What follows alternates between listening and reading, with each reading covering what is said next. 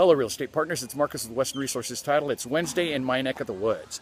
Greetings from the Ta Prohm Temple in the Angkor Valley of Siem Reap Province, Cambodia. Now, I'm standing before one of the oldest temples that they have here, and it's most noted for the years of neglect that it has received. As you can tell, right behind me, there is an actual tree that has grown on the very top of this temple. Talk about an encroachment.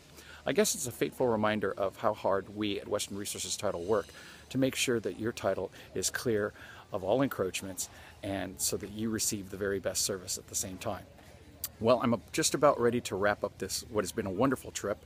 My only hope is that you will one day be able to come out here and experience Southeast Asia for yourself. In the meantime, make this your most successful day. I'll see you soon. Bye-bye.